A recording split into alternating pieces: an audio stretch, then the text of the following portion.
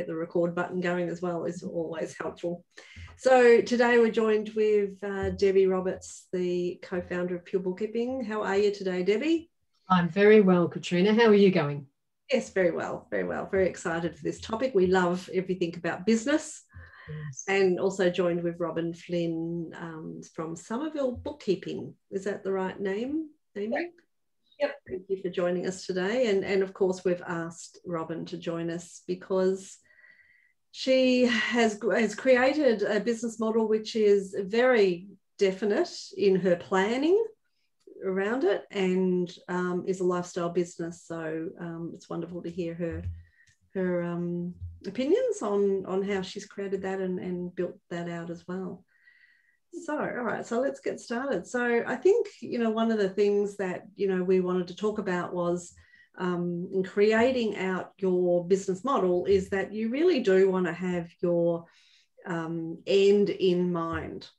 So, what it is that you are trying to build um, and why you are trying to build that, and, you know, at what at what um, when you want to build that out or when you want to you know retire from it so really thinking about you know the planning in place for you know what this business is that you are, building um, and i know deb you've got some comments around um, you know the vision the you know why why we're building this business and what is this business that we are building mm.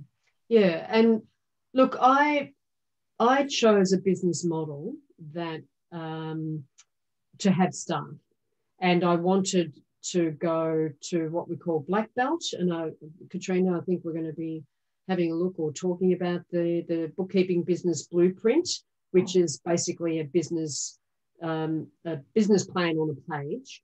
Anyway, the, the top rung of that is black belt. It's using a martial arts metaphor, the white belt to black belt, and putting on $100,000 every year, which if you're working full time in the business and you've got no other restrictions or complications or whatever, and this is what you want to do, it is possible to put on $100,000 if you're going hard with your marketing and you've, you've got your recruitment happening and there's things ticking over all the time. You can do that. And that is a business model that I chose because, getting back to what Katrina said initially, my goal was to replace my husband's income.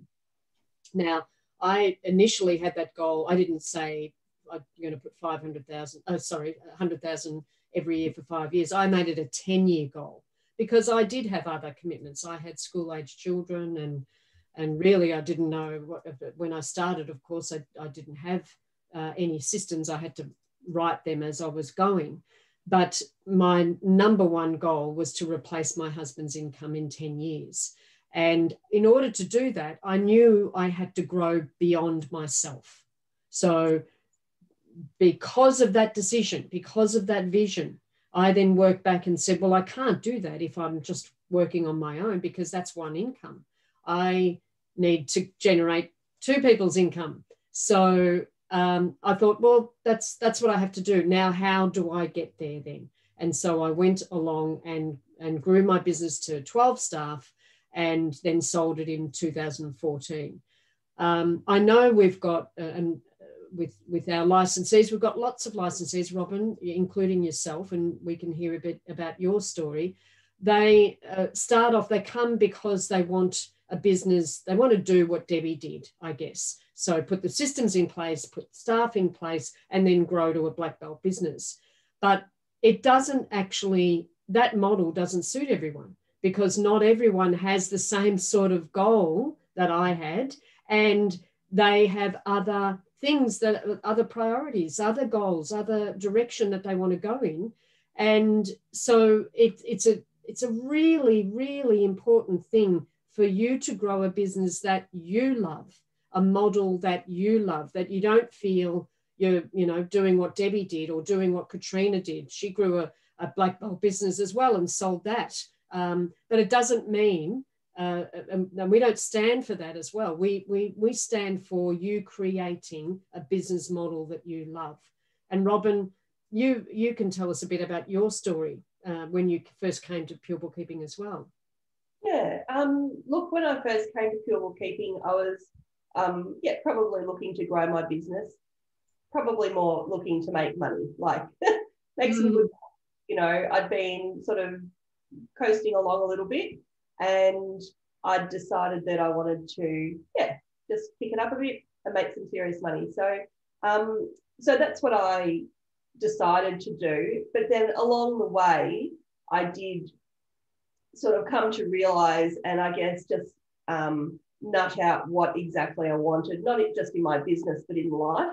And I sort of meshed those together so that um, I wasn't working um, to do something, and I wasn't I wasn't missing out on anything. I could have um, the business that I wanted and get because I enjoy it, and I think a lot of bookkeepers do um, get the enjoyment from um, doing the bookkeeping and also running a business, but making it fit in with my life so that I don't miss out on anything and um, it actually supports my lifestyle now.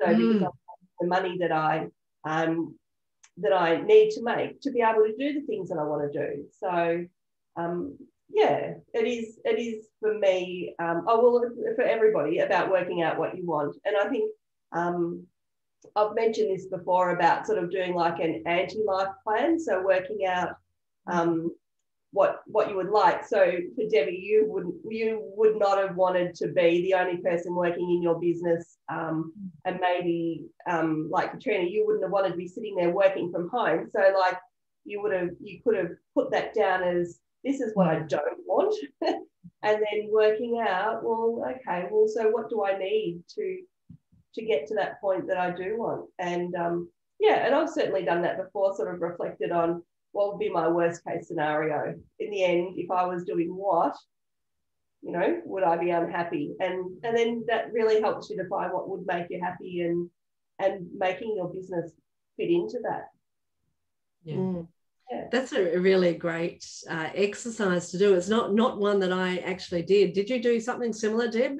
Do, what No, you I didn't do don't- it. I I've never heard of Um, certainly didn't. Our mentors. We'll have to slap our mentors because it's a, it's actually a good um, exercise to do because you think about all the things that you do want, but sometimes other things do come in to the equation, and you've you accepting them because well you are working towards what you do want, but if these things that are sneaking in are actually things that you definitely don't want, it just makes you identify the other end as well.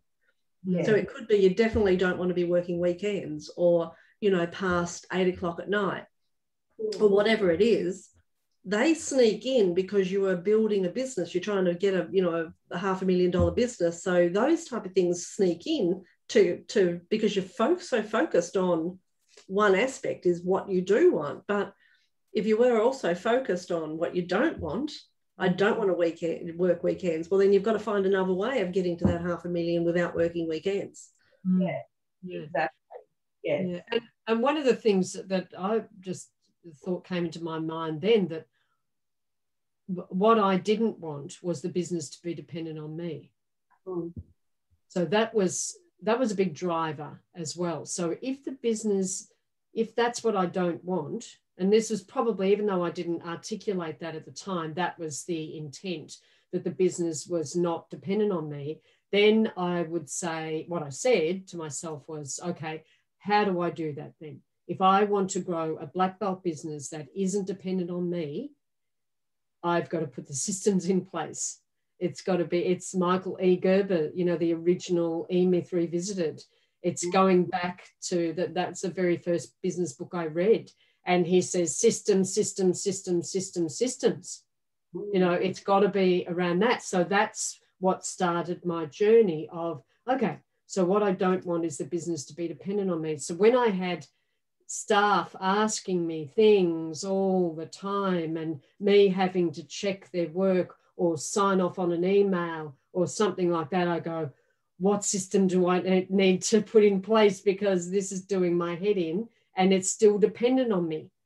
It's Mhm. and it's in, it's an interesting process because when you start to step back, when you do put that first person on, and you step one, just one little step back from that, you see where the holes are in your systems as well. So you see what things fall through the cracks. And then you go up, you shore it up again, you come back in and you go, oh, hang on, that that fell through you didn't do this or whatever it is okay what system do i need to put in place to make sure that doesn't happen again?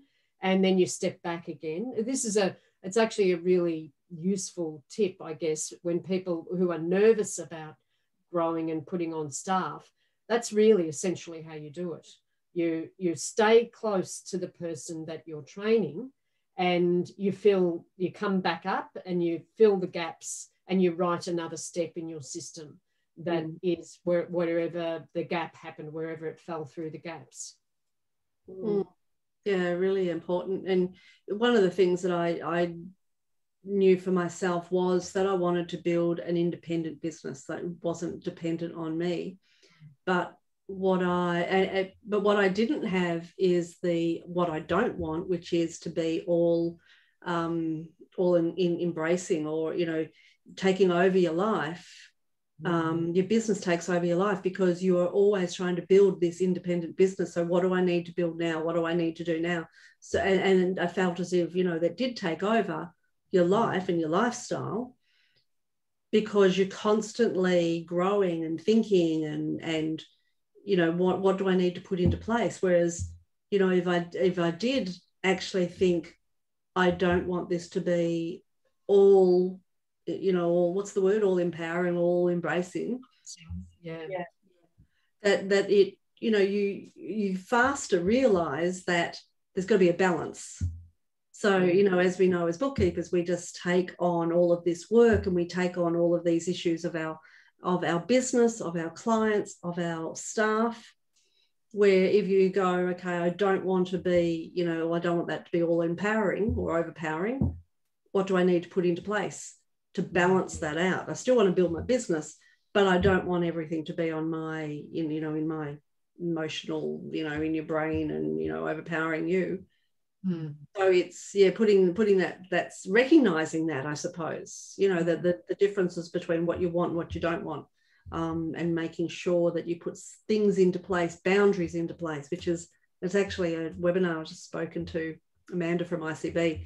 We're having a webinar for our licensees next month around putting strategies in place um, for uh, for yourself and expectations and, and things like around boundaries so mm. yeah, it's a, it's a it's a you know a, a, trick that you do need to implement for the safety of your your own health and your own business as well. Mm. Yeah. And and if you don't put those boundaries in place, you do end up with a business that is not what you were planning. Mm. You end up, yeah, mm. or you a life. Up, you might you might have the business that you want, but you don't have the life that you want.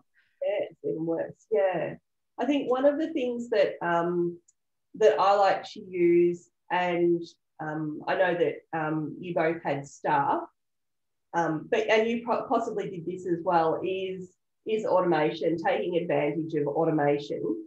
Um, there's that. I, I can't think of exactly what the process is, but it's like you know you either delete it, you delegate it, yeah. you yeah. Um, yeah, but then there's that extra one that you can put in there, which is automate. Like if mm. there's things that keep coming up that um, you know that you need to delegate or that they're taking up your time, automate it. Mm. Use automation as as a tool, um, not necessarily um, instead of staff, but it is a step that you can put in there that might hold off, you know, um, needing to do that. Or if you're like me, um, just working by yourself, I use those things um, so that I can get more work done without having to have the staff. Mm. Yeah. And I think uh, uh, these days, automation is part of business. You'd be silly not to take advantage of the fabulous automations that are available now.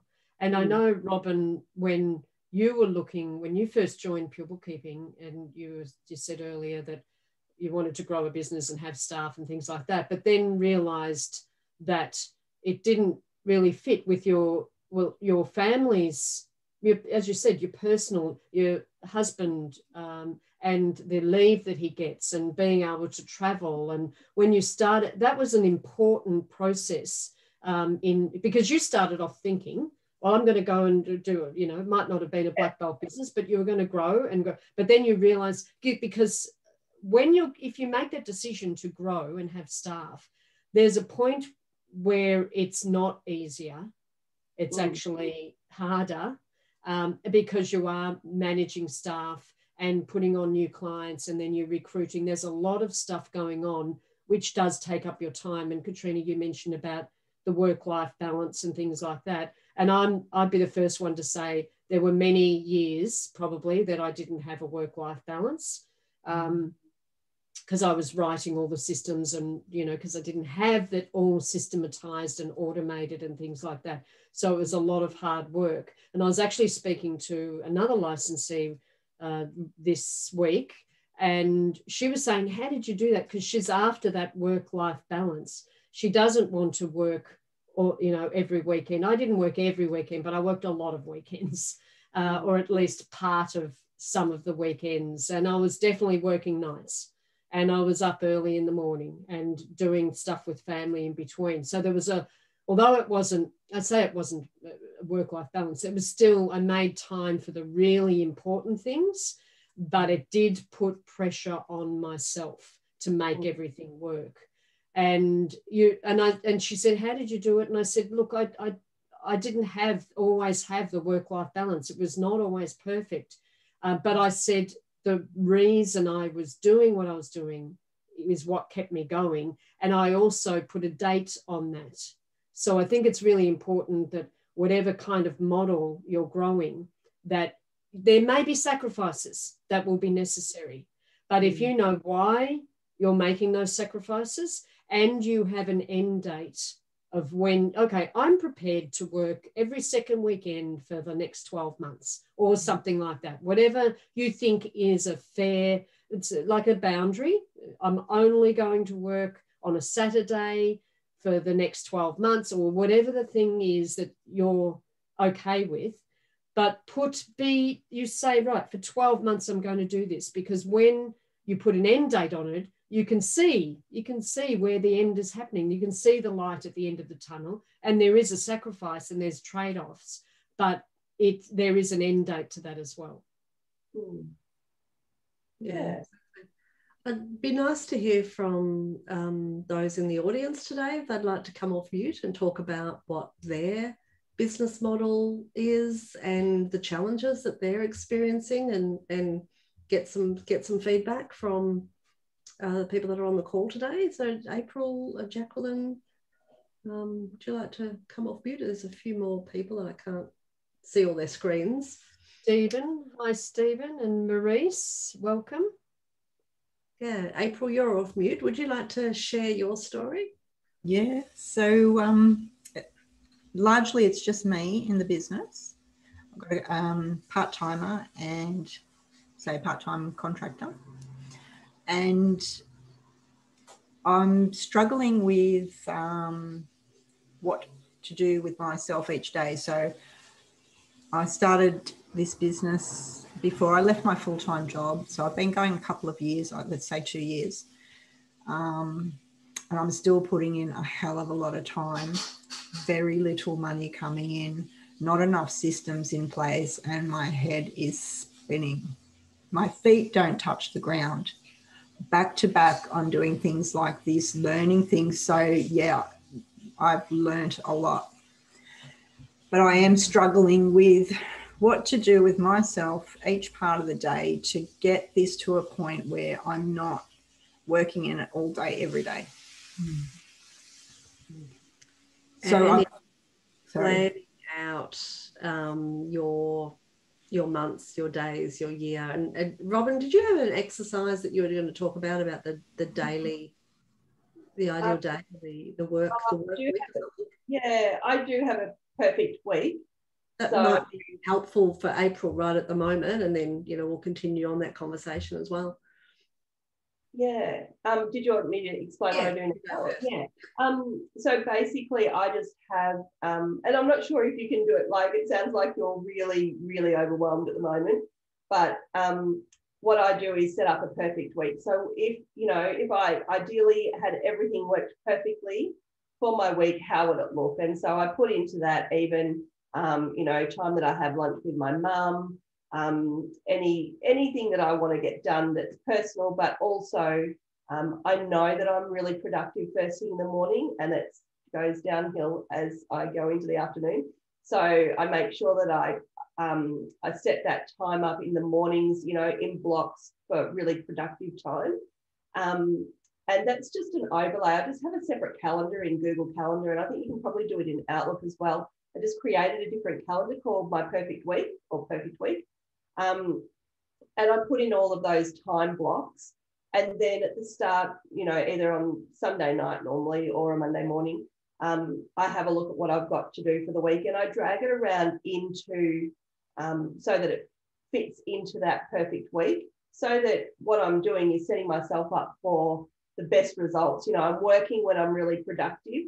Um, Friday afternoon, maybe doing, you know, more of a scanning or something like that, where I don't have to think too much, put a movie on and, you know, do some scanning, um, that sort of thing. And I'm also making sure that I'm spending that time that I need for myself to fill myself up.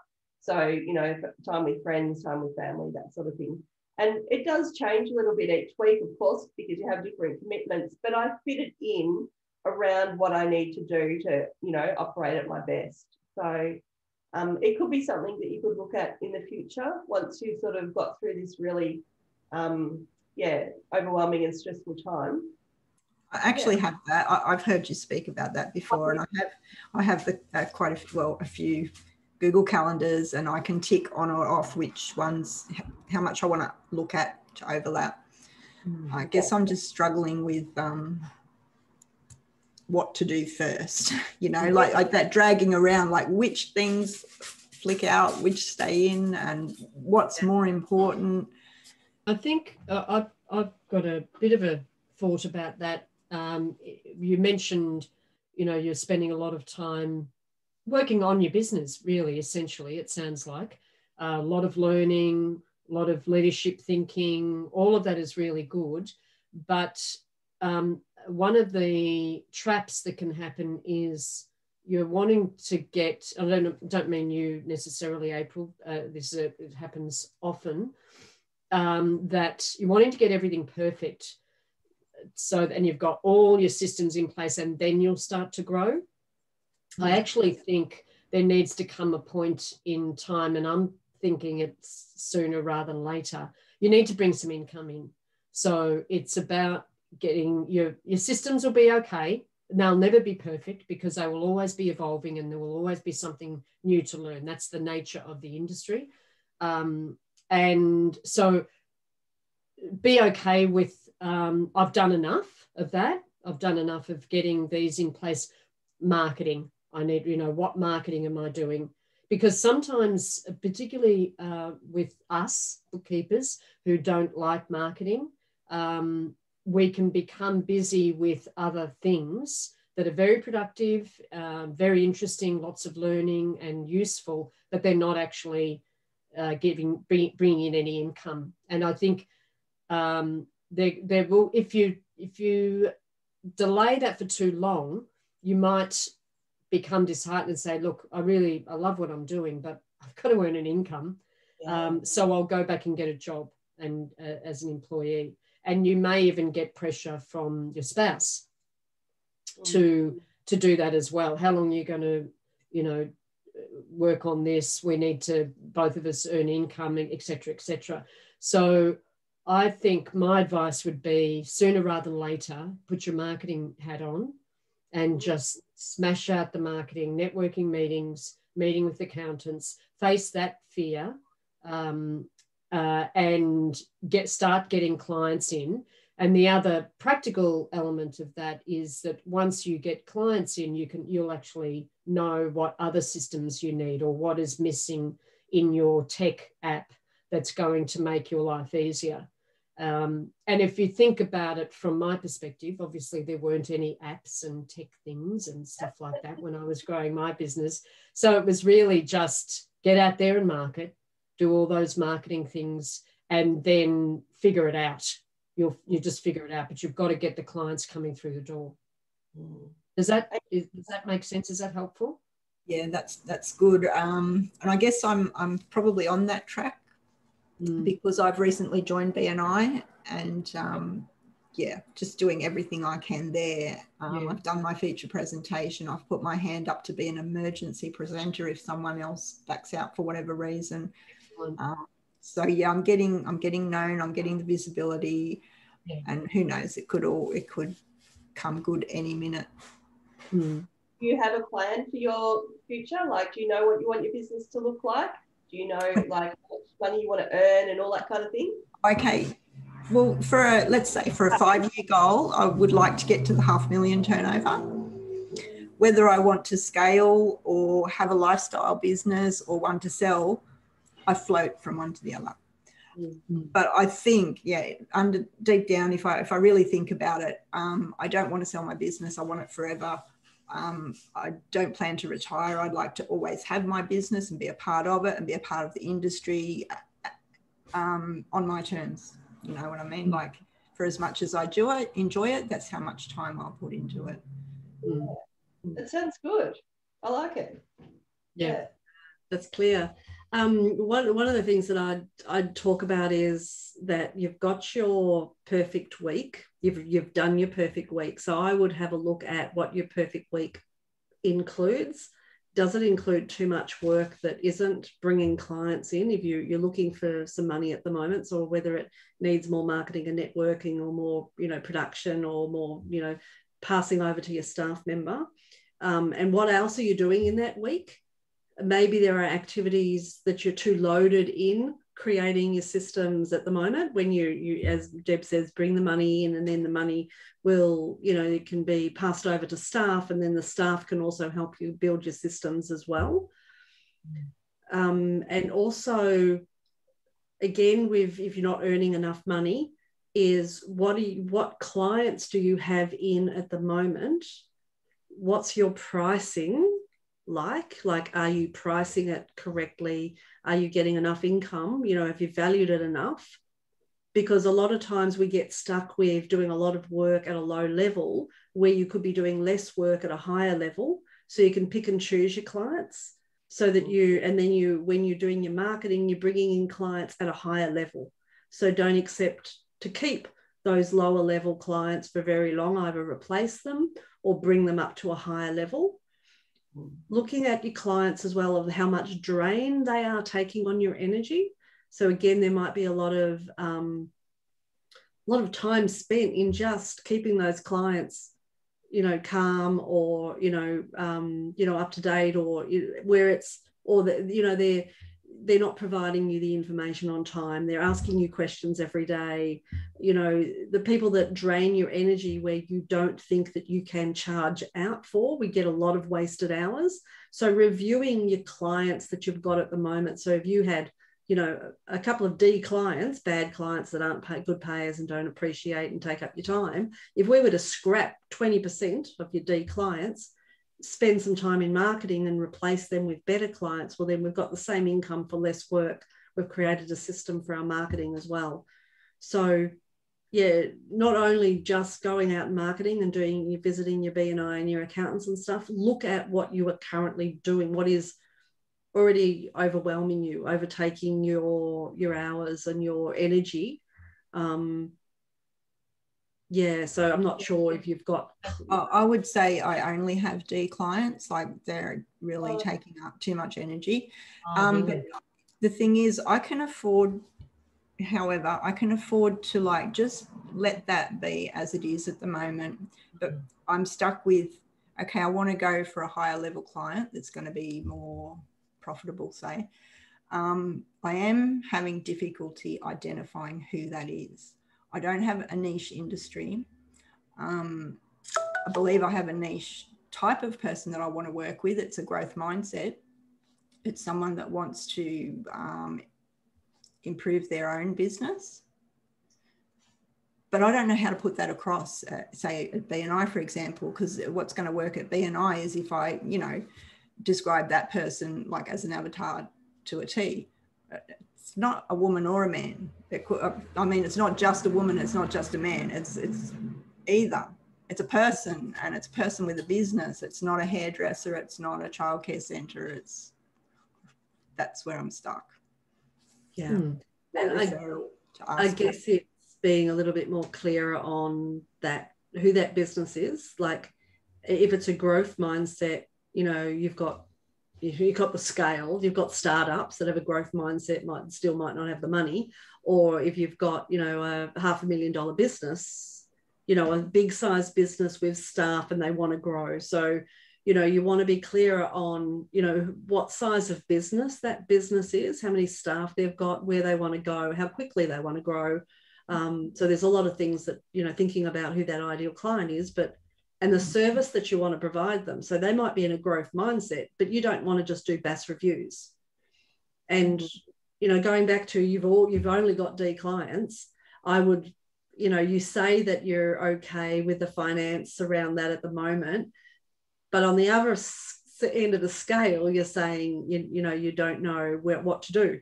Hmm. So it's almost like you know replacing one or two of those worst d that take up your most time that you get the most loss at. So analyzing you know a few of those d clients right now find out which ones are the worst of them and replace them immediately. And if you don't if the finance is okay get rid of them straight away and put the price up for everybody else. Mm. and see what sticks. Yeah. And at the same time keep marketing. Yeah.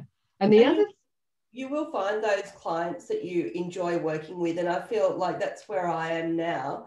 The clients that I've got, they're all just like, they're interesting, they're hardworking, um, they treat their staff well. Like, that's what you want. You want to be mm. working that, you know, that makes you feel great about working with them. Um, I don't I don't know if I can identify them still, like, say, when you get that initial phone call, I don't know that I would be able to identify them.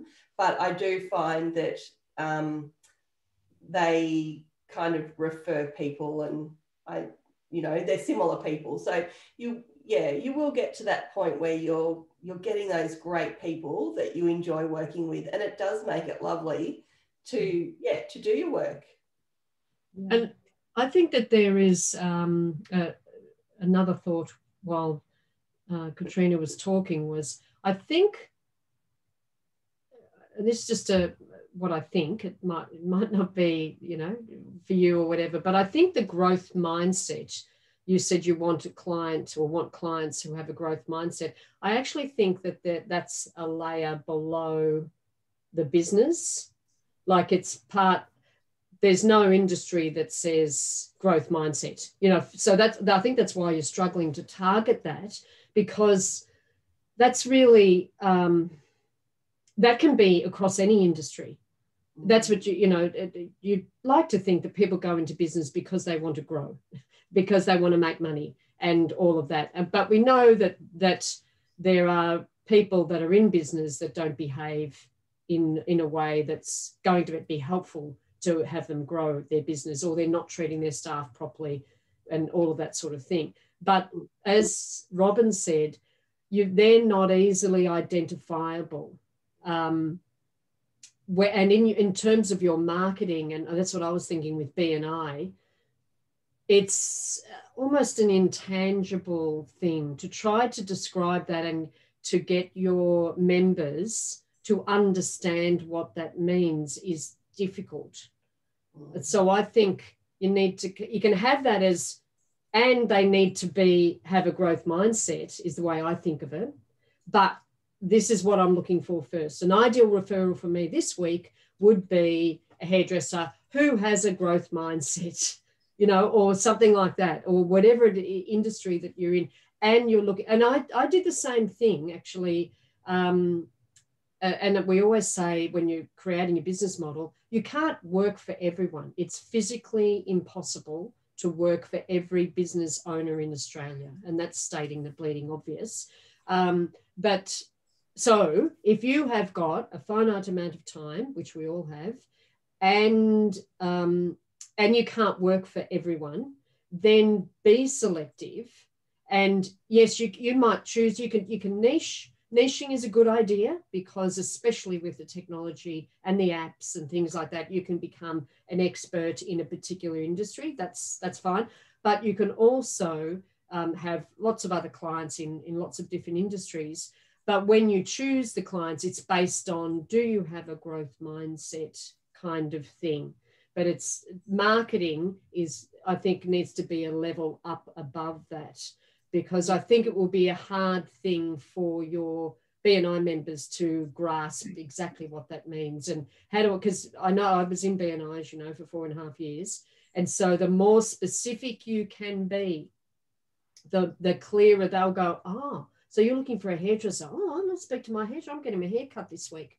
I'll speak to my hairdresser and find out if if she's who's doing the bookkeeping for her. Oh, great. Okay. I'll go away and do that. So you've got to be very specific. It's like giving a little pill and say, take that, that exact pill and take it at 8 a.m. in the morning. The more mm. specific you are with BNI and even with accountants who refer business to you and, and things like that, the more then then what you do is you'll get a whole bunch of referrals then you weed them through and choose the ones that you feel have a growth mindset or have the same core values as you. So the growth mindset to me is at that same important level as core values. Do you treat your staff right? Do i feel comfortable? What's my gut saying? But you've got to get in the door first. You've got to sit down with them in order to um, be able to ascertain whether they are a right fit for you. Yeah. And I would say too, when you find that person, when you mm. first find that first client that's just, you know, spot on, exactly what you're after, great. Ask for referrals. Ask them, you know, oh, do you know anybody? You know, I've I've got some extra capacity. If you've got some anybody else that you know that needs a great bookkeeper, um, because you do find that those like-minded people all do hang out together. Yeah. Mm. Okay. Just say I um, decided to niche or make this avatar a privately owned childcare centre, and let's say there's six thousand of those in Australia. Does that sound like a big enough market for me to be going for via BNI? BNI, like I, do, I, I, don't mind you going for the childcare centres because there's a lot of work involved in childcare centres. I had a, a franchise. Um, but in a B and I, you're asking for the locals to have children and go to locals. Do they have enough of a network? I mean, you, you could, because you do a, um, a 30 second spiel every week.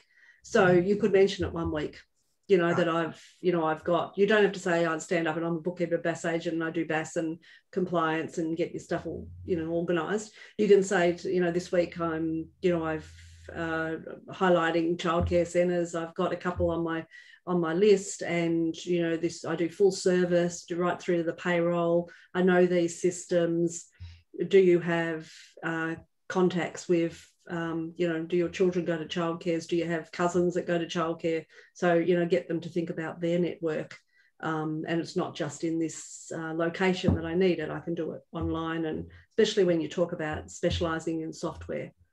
Um, because then and it's and, and then what do you want from it you just want an introduction or you just want them to you know you're not going to get the bni participant to go to a childcare centre and who's your bookkeeper Mm. you might say, you know, go to a childcare centre and, and, ask if I could introduce you to um, one of my, um, you know, BNI partners or some wording around, you know, one of, uh, um, you know, my colleagues or whatever that might be able to have a, a chat to you about, you know, making you more efficient or whatever, you know, something that the BNI participant can talk to the childcare centre owner about. Um, which is just you know giving a health check or you know just having a email introduction whatever something like that mm. another thought that i just had then was um, which i think is could work um, especially in a bni environment you could possibly it's like going in the back door in a way ask if they know any a good referral would be um, anyone that you know that sends their children to a childcare centre because then you could contact that person and say would you mind you know speaking for me or can i can you give me an introduction to the childcare centre that you go to Um, and I think they're more likely to, the BNI members are more likely to know someone that sends their ch- children to mm. a childcare centre than they would know necess- yeah. possibly they'd know actual child childcare centres. But mm. if you might be able to come in via the back door by asking, you know, I mean, try it. A lot of things is is trial and error and and see what sticks really. Um, but also, I think it's important when you're starting out not to overthink it as well. Mm. So uh, a, I think it's a it's a good model to niche, particularly in this day and age with the amount of apps that are available. And if you become the childcare centre specialist, your marketing, your message on your website will be all about that will be all about the apps they need. You're the expert. You you come in and just streamline the whole thing. Um, but when you're starting out, it doesn't mean that you say no to other referrals. And I think also when they you can get stuck on on niching in childcare centres, and what you want to do is say yes, I would like to niche in childcare centres, and that might stick but I don't really know yet because I haven't really tested it out. And maybe you, you may or may not have a childcare centre right at the moment. Um, so just put referrals, get them to whatever referral, a good referral for me. I, I would also often say is someone that is proactive about their finances, who wants to be empowered around their finances. So I didn't actually care what industry it is. Uh, I was just interested in someone that wanted to be empowered around their finances, that wanted more than just data entry and compliance. I can do all these things, but I'm interested in clients that really want to take responsibility um, and for and have a you know financial partner uh, that can walk the walk with them. I actually I used um, the PB template for the presentation at BNI last oh, yeah. week, I think it was, or the week before yeah, it was good, really good, really very helpful, and um, yeah, it went down well. Um, I oh. printed it off, like gave the members a PDF copy of the presentation. Yeah, yeah, excellent. But I'm going to prepare another one because I've now put my hand up. I want to jump in whenever someone else can't do it, if someone's away or they hadn't got prepared, whatever. I want to jump in and do it. Mm. Um, because I want to improve on what I did the first time. Yeah. I want to put a better one out there. Yeah, be more specific because um, a couple of people are approaching me saying, April, I'd like to hear you speak more about exactly who you want so that I can go get someone for you. Mm. Yeah, I'm trying to put specific info together for them. Yeah, yeah, that's really encouraging. If people are actually asking you, mm. like, yeah, they're wanting to do it. Mm. Yeah, that, that's good. And case studies are really good in those presentations as well where I've got mm. another licensee I speak to um, that's in BNI, and she did a case study on how she helps a, or how, how a particular client came to her in a particular industry that she wants to, you know, get more clients in, and you know how she helped that client, and now you know what they're what they're doing, you know how how they're succeeding now and the success of their business. So um, case studies really because pe- people then think, oh, you know, I've got somebody in the similar situation, or you know, I, I I myself want to succeed. So I need to have somebody look at it and redo it and, you know, get to that point. So I know when I hear a case study, I, that's when I understand what people do. It's like, yeah. oh, now I know what you do. Yeah, yeah. it connects more. It's that, yeah. Mm. Awesome. Very Thank good. You, Thank you. A lot of notes. awesome does anybody else want to jump off mute and talk about their business model and, and particularly if they've got any challenges or any you know success stories maybe they've got a case study themselves of how they've dealt with moving from overwhelm and you know don't know where to start and and now really clear on what their case study is their um, business model is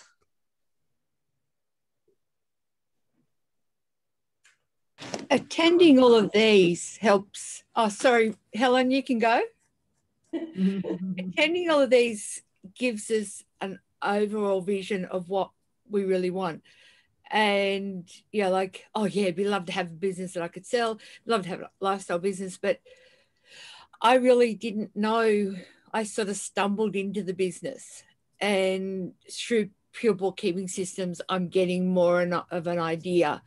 And I kind of want a lifestyle business like Robin has, but I also want one like April that I want to keep working on until um, until I can't work anymore. And I want to be able to travel what mid next year, I think they say. Mm-hmm. Um, so like with pure bookkeeping systems, it allow me to to plan for all of that. And I had to talk to Sharon and I actually have to do a proper business plan. So it's going to make me really think about it.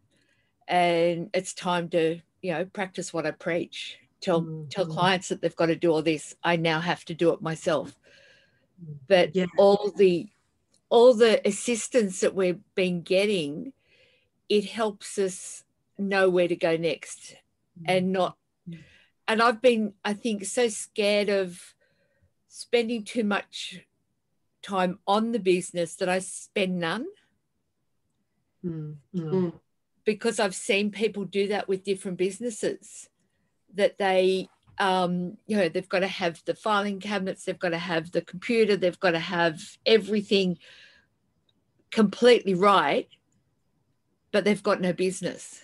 Mm. So I think that sort of frightened me a bit that I no, I've just got to work in the business. I've just got to do all these things to to for the yeah, business. It's having, it's having that balance, isn't it? Of you've got to work in yeah. the business to get to bring the income in and have a business that's running, but you've also got to spend that time in planning it out and not not running up the ladder on the wrong up, up against the wrong tree yeah because you want to you know make sure that you're climbing that ladder that's going to lead you to the right business that you're trying to build so there's certainly some leadership and and um, planning mm. out and a business plan is a great place to start um, and I know Sharon's yeah. going to have a template for you to work through. Really?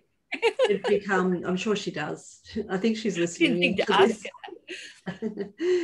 um, yeah. i'll get her to send you one so it will just help you, um, you know, articulate the different stages of your business of, you know, what you want for it. And if it's a, it sounds like a lifestyle business, which is going to take you to, you know, till the end of your working life, um, yeah. and which which is you know similar to what Robin is envisaging right now. I mean, mm. it can change in two years' time. Yeah, you know, it's always evolving that's something that I'm really that I am careful about. Um, it sounds like it's actually, you know, I'm arguing against myself with it, but um, I'm very clear on what I want. But I also like options. Like, so I do have, you know, all the processes in place um, and client manuals and things like that, so that if I suddenly decided I wanted to add, you know, um, a bookkeeper or I wanted to grow, then I do um, I take advantage of everything that I can um, and run my business as a business. Mm-hmm. Um, so that I've, yeah, I've got that opportunity. If I do change my mind and I want to do something a little bit different, I can do that. And and that's that's a really important thing. Um, I've I've seen it over and over again uh, that.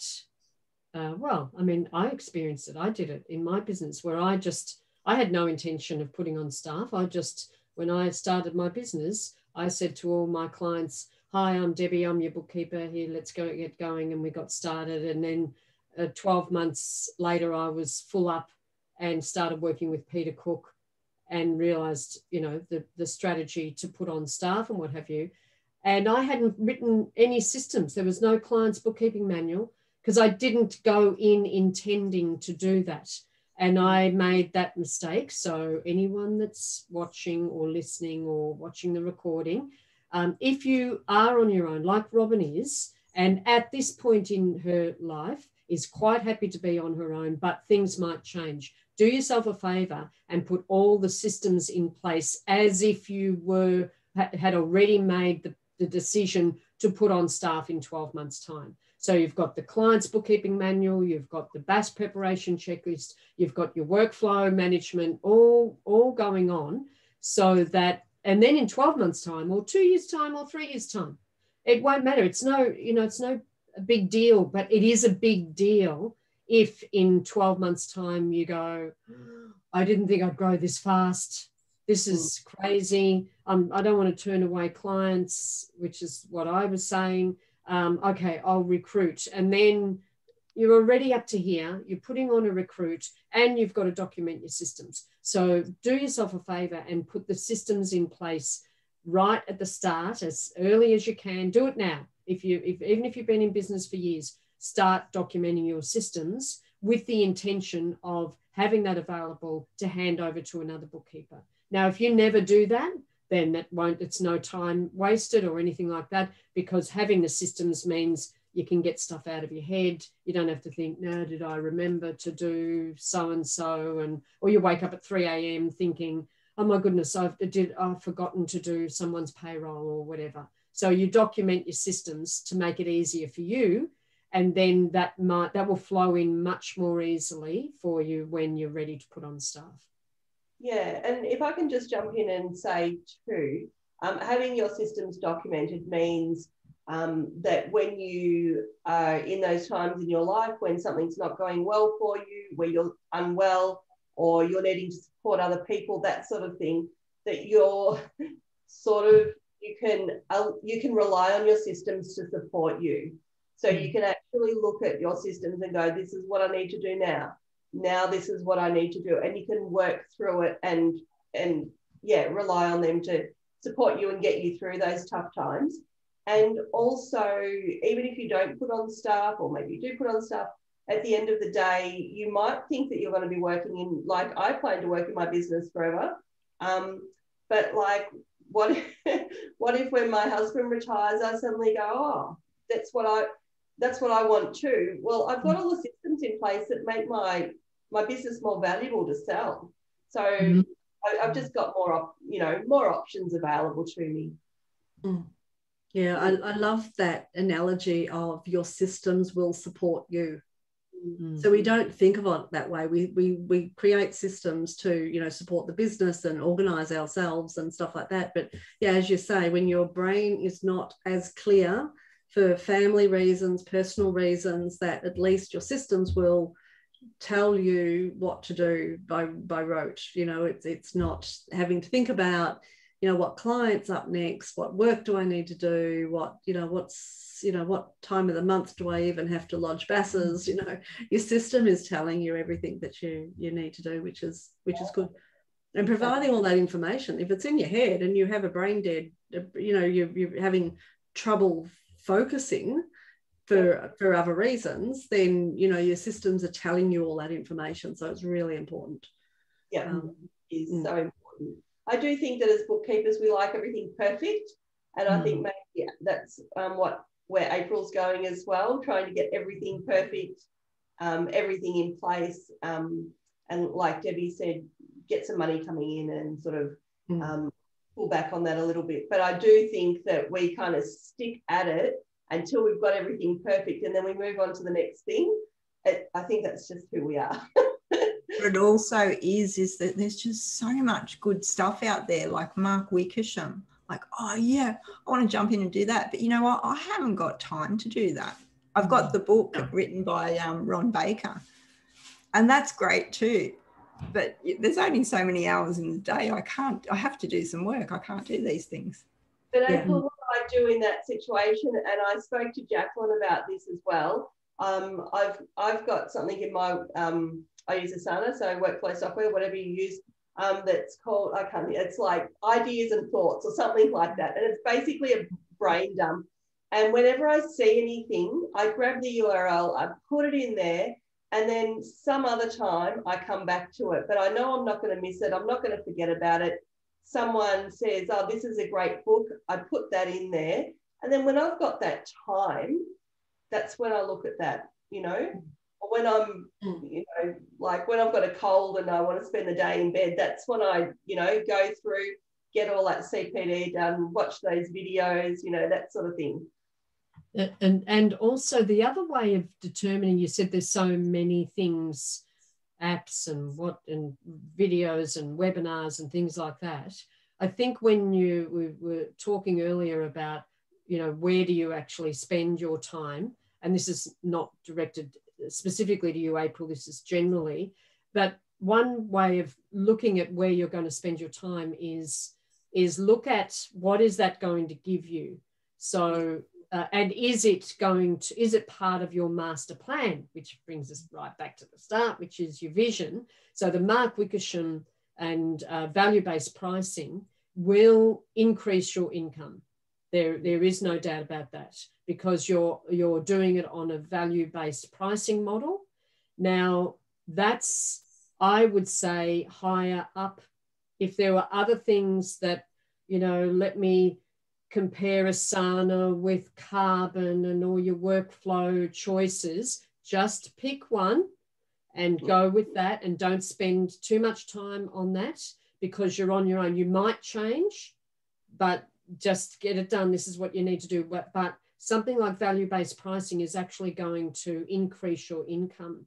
And so I would consider that to be a higher priority so think whenever there's an opportunity to look at something or grow or learn, say, we all want to grow and learn, and it's all, it stretches our mind and it's all very interesting and things like that. Is that actually going to help me achieve or get get faster, get, get you know, get, bring the thing faster to where I want to be? Or is it just, uh, and you know, let's put that down the list, save it for what Robin said on a day when, um, you know, a rainy day or something like that and and have that as your CPE. Gee, that was interesting. I learned some stuff.